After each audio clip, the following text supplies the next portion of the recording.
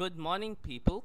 Today I have created a Python script that lets me translate any sentence spoken in English into Dutch, French, Spanish and Portuguese.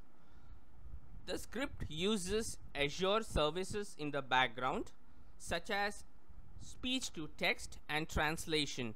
So the bulk of the processing is actually done on the Azure platform. Let us see an example.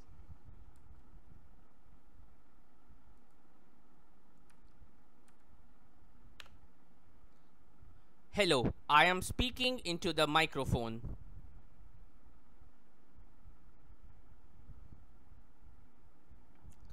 There we see it has been translated into Dutch, Spanish, French and Portuguese. Let us try this one more time please.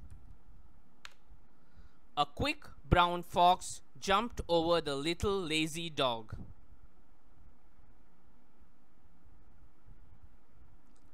So there we see any statement uh, provided in English via microphone is translated into Dutch, Spanish, French and Portuguese.